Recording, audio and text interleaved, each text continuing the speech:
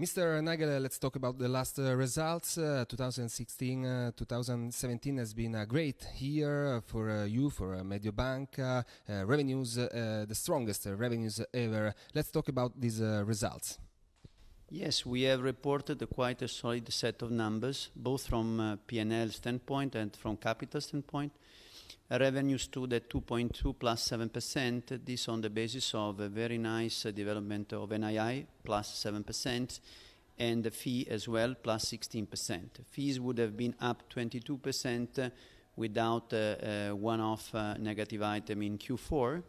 Um, but this number were coupled also with a very positive dynamic of uh, asset quality and capital ratio. Asset quality is already a strength of the group, has been also improved. Basically, our Texas ratio went down to 13%.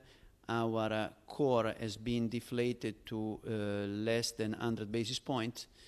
But moreover, the overall core tier 1 uh, um, stood at 13.3, uh, so more than 100 basis points uh, in advance uh, compared to last year, notwithstanding the acquisition we have done, the deduction of Generali stake, and a 40%, 38% increase in the dividend uh, payout.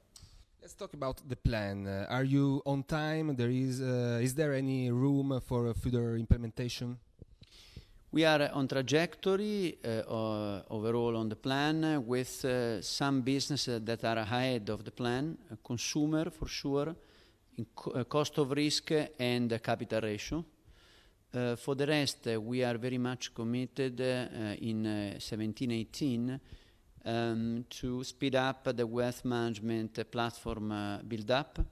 In particular, we see two nice spots of development in affluent banking and in private banking. This will be achieved with important enlargement of the distribution network. Uh, because for the two projects of CheBanca and Mediobanca Private Banking, we have concluded the merger period and the integration phase.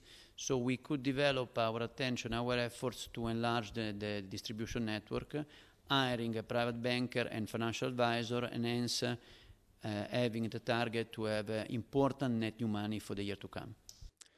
Uh, let's talk about the Italian banking uh, sector. Uh, we have passed so many blocks uh, like Monte dei Paschi di Siena, the capital increase of Unicredit, the biggest one in the Italian history, and then Banca Venete. Uh, which is your outlook? Yes, I think uh, that important developments have been done. In particular, the recap of these three entities and the major turnaround of the largest uh, Italian bank, Unicredito, uh, with the, the time uh, of the speed, the deepness of the impact, clearly surprised positively the market. It is very important because overall, the cost of risk, implicit cost of equity of Italian banks in one year halved.